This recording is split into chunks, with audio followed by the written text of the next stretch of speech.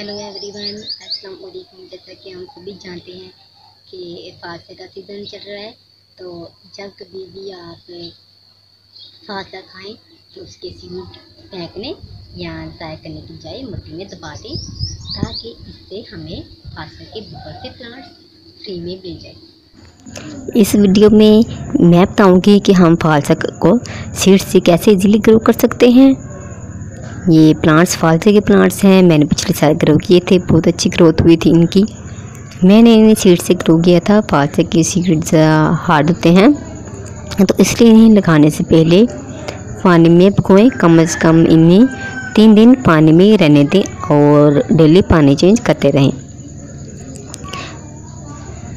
फालसा के सीड्स कम से कम सात से दस दिन में जर्मिनेट हो जाते हैं। जो फालसा हम खाते हैं ना, सिर्फ़ उसी के सीड्स लगाएँ। जूस बनाते टाइम सीड्स टूट जाते हैं, इसलिए वो वाले सीड्स ना लगाएँ। एक डेढ़ माह में फासा के प्लांट्स की माशाल्लाह से अच्छी खासी ग्रोथ हो जाती है। इन्हीं स्पेस चाहिए तो प्लांट्स को अलग अलग पॉट्स या गमलों में ट्रांसप्लांट करें।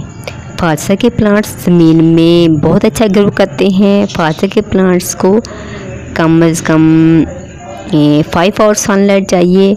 तो अभी सीज़न है तो हम फालसा के प्लांट्स को इजीली सीड से ग्रो कर सकते हैं।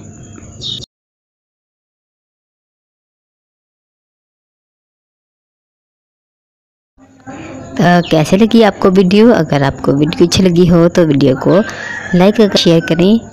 और अगर आप हमारे चैनल पर न्यू हैं तो हमारे YouTube channel nature and gardening को सब्सक्राइब करें। थैंक यू अल्लाह हाफिज़. Take care and bye bye